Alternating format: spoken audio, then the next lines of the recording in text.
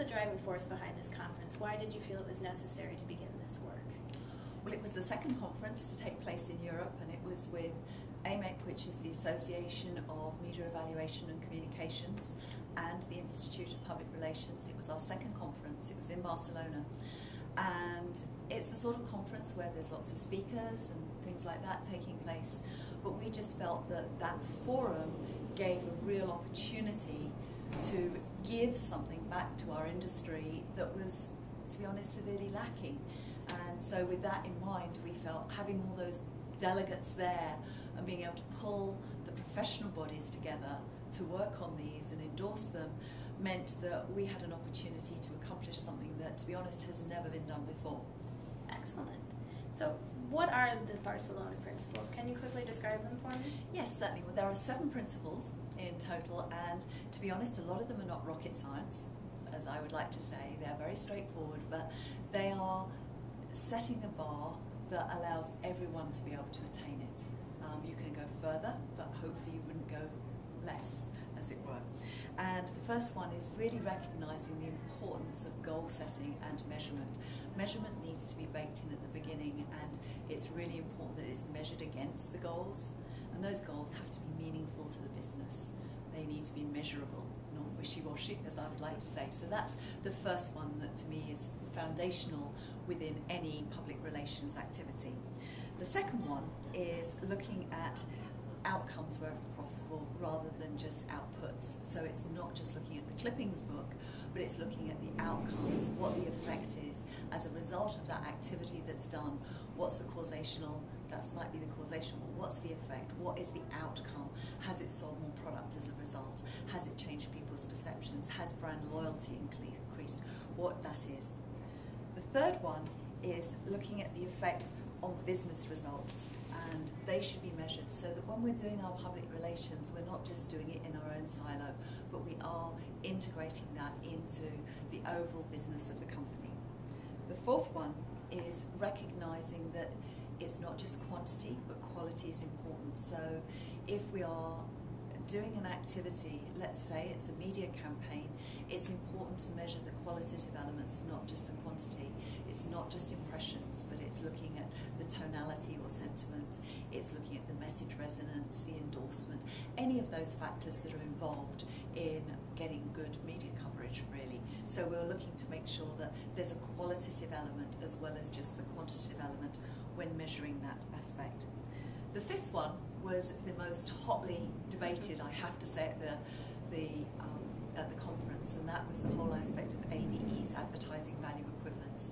And how we came down on that was that AVEs are not a measure of the value of public relations. They're not a good measure, and I think that the majority of the audience would agree with that, accepting that there's still a lot of people who do it now, that therefore while it's not recommended, if it must be done, it should reflect more than just a rate card, but needs to be considered actually what someone would pay, the negotiated rate.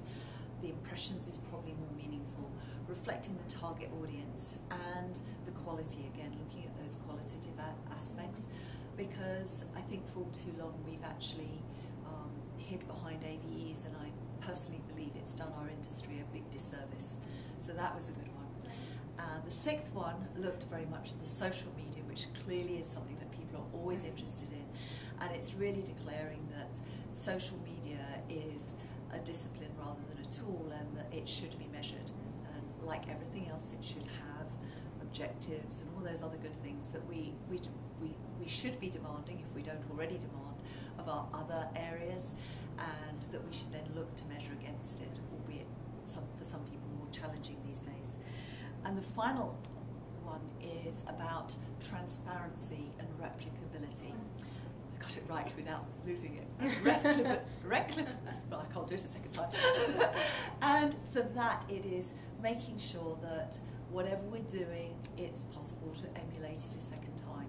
So if that is media analysis, recognizing the sources that the media is being collected from, any collection strings that are used, text strings to actually as triggers to pull that coverage, doing the um, declaring what you're actually coding against in terms of any matrix of content analysis and any algorithms or calculations that are used on it so that it's clear what it is you're looking at. And the same when you're looking at survey research. So you're saying the base side, the mar margin of error, what the questions are and the order of those questions. Therefore, anyone who's looking at a report or whatever can have a clear understanding of what you were setting out to do by your objectives, how you went about doing it, and therefore how meaningful that data is that they're looking at in the analysis. Excellent, thank you. It's a very nice overview of a long topic that we could sit here for hours and discuss. Um, in our session today, Pauline, you described a couple of different ways that these can be applied in a few different disciplines, in PR, in even uh, trade show marketing, and you touched a little bit on social media. Yes. I would like to hear a little bit more about some examples that you've seen of successful measurement in social media. Good question. First of all, before I even start that, I want to say that social media tends to cross a company. It's certainly not the domain of PR, and therefore, you know, there may be guardians of social media or whatever, but it, it it can't be owned social media in that sense. So that in itself presents challenges with managing it or certainly measuring it. And I think that the, there are different areas you can do. I think often to start by listening and deciding what you're wanting to accomplish through social media. So that goes back to number one, having your goals, and then looking at how you're going to measure against those goals. What are you seeking to achieve? And that may be listening, it may be engaging in conversations, it may be looking to change perceptions. If you are, like, there's a great case study of an airline who actually uses social media and they track that against online sales. Hmm. There's some good tools out there for looking at website interactions and things like that. So I think it's understanding what your objectives are and if you're not, if you haven't been doing it before, take some baby steps and make sure it's something can maintain because social media is a relationship and you can't have a relationship one day and then decide you don't want to in a month's time. Absolutely. We've seen some mishaps happen when uh, people take Yes. that approach. So you talked a little bit about having your goal in mind beforehand. In social media specifically, do you think that might change as people uh, tweak their campaigns? I think it will do, yes, potentially. It's, I think you have your overarching goals. If you consider the big picture, then a corporation has its overarching goals, and then PR has its goals that hopefully tie into those of the overall organisation, and it sort of filters down. And then you have your campaign goals that filter into what your PR goals are, and I think that social media needs to fit in with that as well. And sometimes it's good to try a few new things in social media and not be afraid that they may not work. Um, I think that a lot of people shy away from measurement because they think it's going to make them accountable. Yes, it does make you accountable, but see that as a positive rather than a negative. It's not your exam paper pass or fail, but it's more the opportunity to learn how to do things differently next time as well when things haven't quite gone the way you want them to go.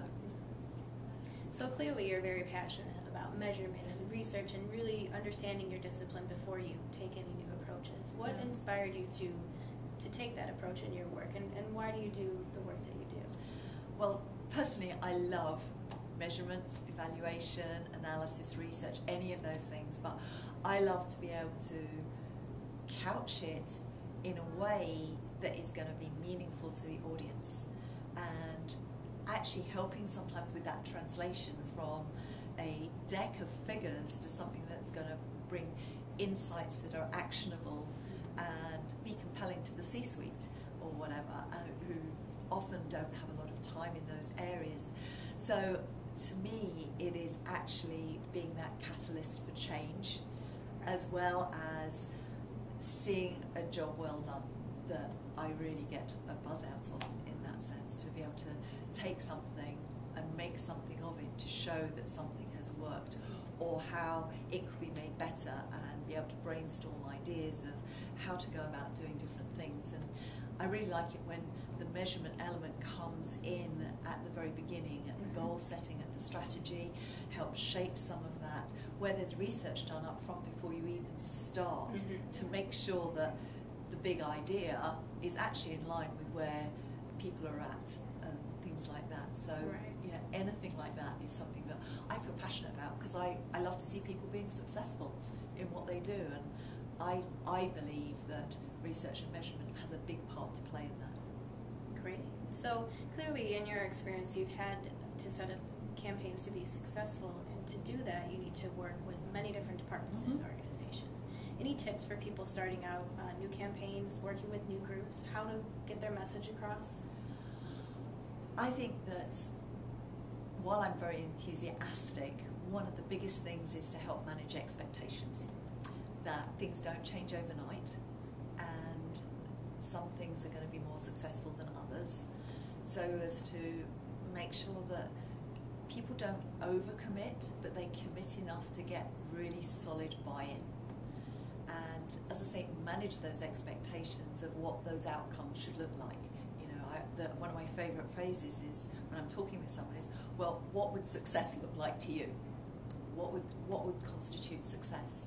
And actually understand what that is, and see then if I consider that from my experience realistic or not, mm-hmm. or how they might go about getting there. And so, I think managing expectations is one of the biggest areas, but also allowing strong buy-in from lots of areas. Mm-hmm. That it's not public relations working on its own, but actually working across the company wherever possible and helping other people be a part of the success. It's not all down to PR to make things happen, um, and particularly when you look in social media, even more so.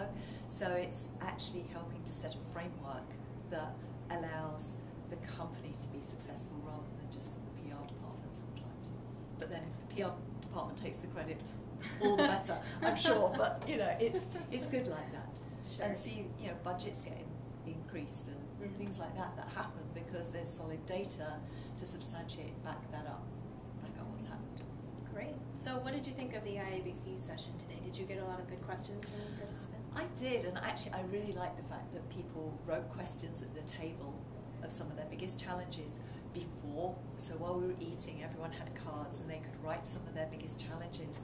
And I found that very helpful because I got to read them, scan them very quickly beforehand, and actually understand where some people were coming from. And they were the wide range from how do I communicate with the C suite to as an agency, how do I get my client to put money aside for measurement, to looking at questions on social media, internal communications. There was the wide gambit, and it was great then when looking at the step two of the actual Barcelona principles, which was looking at a validated metrics grid and a social media grid, that to actually see how some of those questions could be addressed Mhm. in those grids. I don't know if you would agree that you could see how some of those Mhm. came through. Absolutely. Yeah, and I think it, it says a lot. Um, you know, the IABC Chicago chapter really tries to structure its programs in response to what its members are asking for, and I think it speaks very loudly to say that we've asked for a session on measurement. Um, but what do you think is next? What What do you think people are going to be looking for once they get a grip on, you know, on their goals and what they're looking for? How How are we going to further improve this process? Well, it's always a working process. You know, it, there is no silver bullet to, to measurement. It is a work in progress, and I think it's looking at there's so many different channels these days through which to communicate mm-hmm. that it's looking at what is the appropriate measurement metrics for each of those. And so I always recommend people will start small and then grow it because prove that what you're doing is working, but then look to see how you can actually be more sophisticated and wherever you're at now, as long as it's not AVEs, but wherever you are now, look to do a little bit more. There's lots of tools out there to be able to try, and I think that maybe the next step might be to look at well, what are some of these tools and what are some of the experiences people have?